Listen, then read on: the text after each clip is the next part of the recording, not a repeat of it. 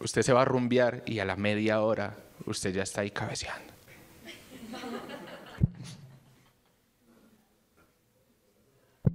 No sin antes criticar la música actual, que eso también es muy de señor.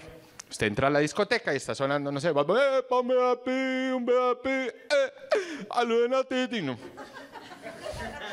Qué boba de música, ni se le entiende al pobre hombre como canta como con problemitas el muchacho y uno criticando la música y uno dice esta expresión, ay, esa música que están escuchando los jóvenes de hoy. Usted dice los jóvenes de hoy, parce, ya está a dos semanas de jubilarse tranquilamente.